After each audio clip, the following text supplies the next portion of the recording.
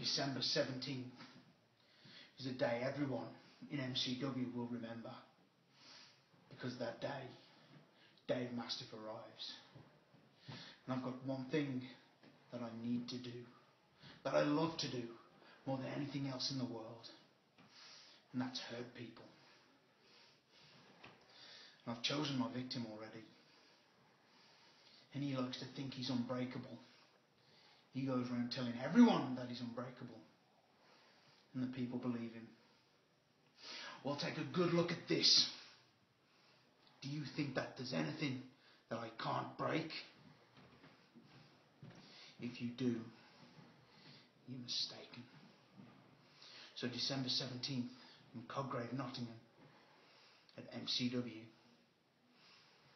Bring your best and I will break it.